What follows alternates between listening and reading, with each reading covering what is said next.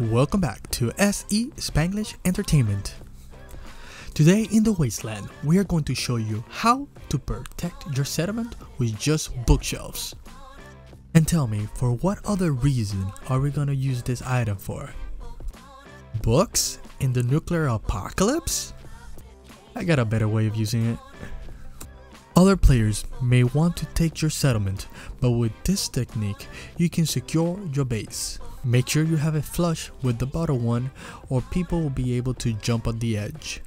With two stacks, vault dwellers won't be able to get in, but just to be on the safe side, I recommend 3. Make sure you always double check your defenses and to use it as fast as possible before it gets patched.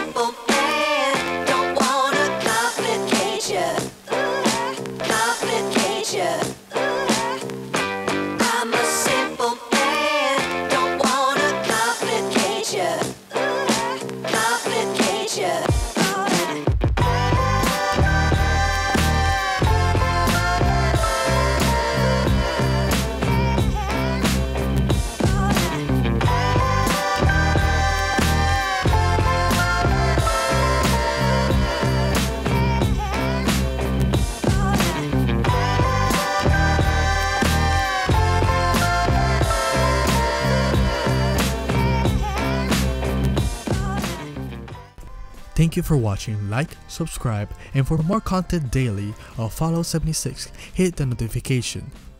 See you in the wasteland.